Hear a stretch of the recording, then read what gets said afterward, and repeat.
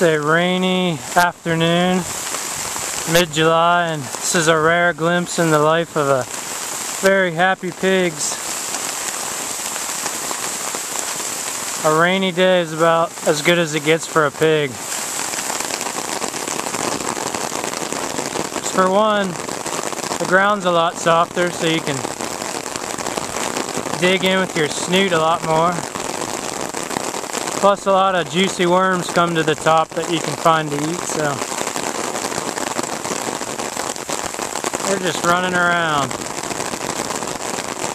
enjoying the weather.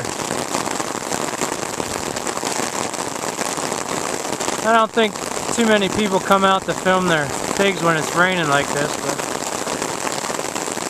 something not to be missed.